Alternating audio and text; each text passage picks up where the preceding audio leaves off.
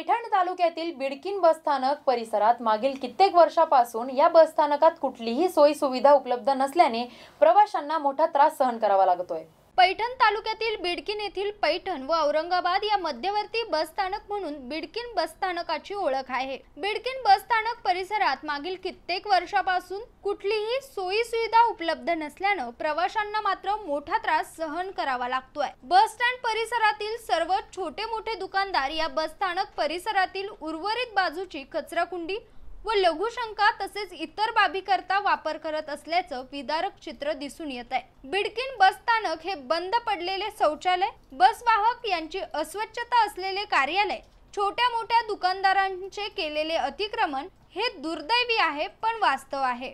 बिडकीन बस स्थानक व परिसरातील घाणीचे साम्राज्य आणि अतिक्रमण व इतर बाबीवर शासनाच्या वतीनं लवकरात लवकर निर्णय घेण्यात यावा अशी मागणी प्रवासी व नागरिकांकडून करण्यात येते तसेच ते जे बा- बाथरूम आहे तिथे येथील स्थानिक रै रै दुकानदार लोक घाण नेऊन टाकल्यामुळे तिथे प्रचंड घाण होते. तरी एस टी महामंडळ प्रत्येक वेळेस साफ करत असले परंतु आज साफ केले की लगेच दुसऱ्या दिवशी घाण लोक आणून टाकतात. त्याच्यामुळं ते त्याचा परिणाम दिसून येत नाही.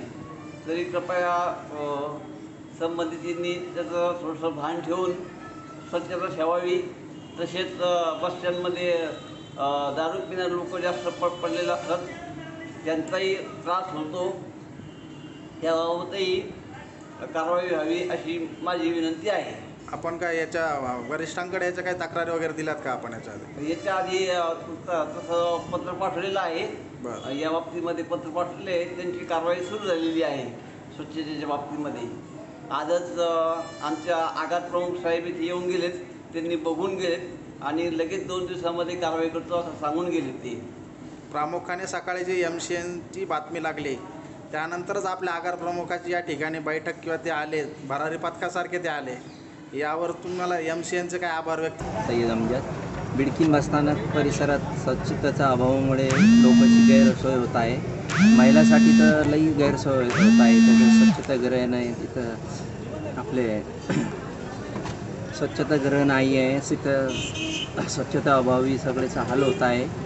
आणि इथं ते महिलासाठी तर विशेष करून महिलासाठी यांनी स्वच्छतागृह उभारून घ्या घ्यावे. बिडकीन येथील Ravindra Gaikwad M C N news Bidkin.